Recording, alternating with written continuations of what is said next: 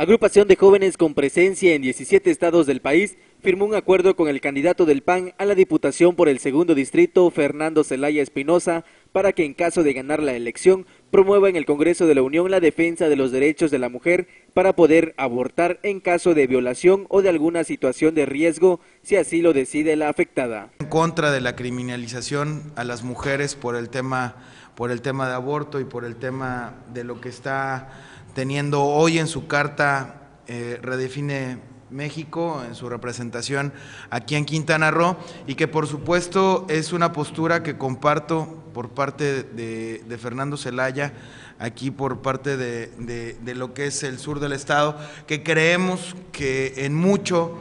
eh, es el de poder apoyar a las mujeres ante situaciones adversas. Esta red nace con la necesidad de atacar esos problemas de esos problemas sociales que realmente nos atañan y nos conciernen a todos. Es una red eh, formada por jóvenes universitarios, tomadores de decisiones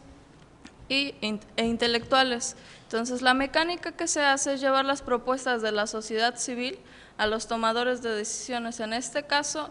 instrumentamos la, la Ruta electoral de los derechos sexuales y reproductivos que comenzó este 23 de mayo. Estamos llevando a cada casa de campaña, a cada candidato,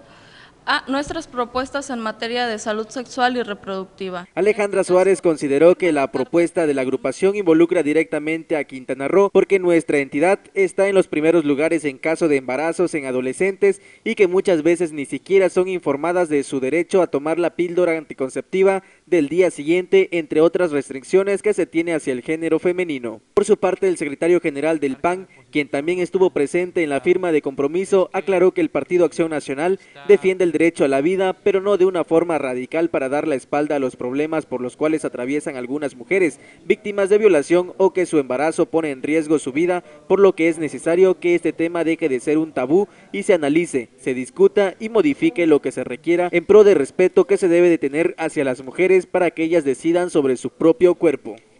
Para Notivisión, Leonardo Hernández.